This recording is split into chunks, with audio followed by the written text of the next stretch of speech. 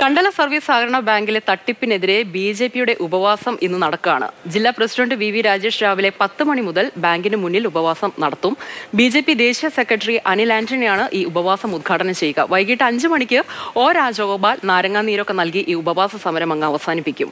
B J പിയുടെ പ്രാദേശിക നേതാവായ ബാലകൃഷ്ണനാണ് ഈ കണ്ടല സഹകരണ ബാങ്കിലെ തട്ടിപ്പിനെതിരെ പരാതി നൽകിയത്.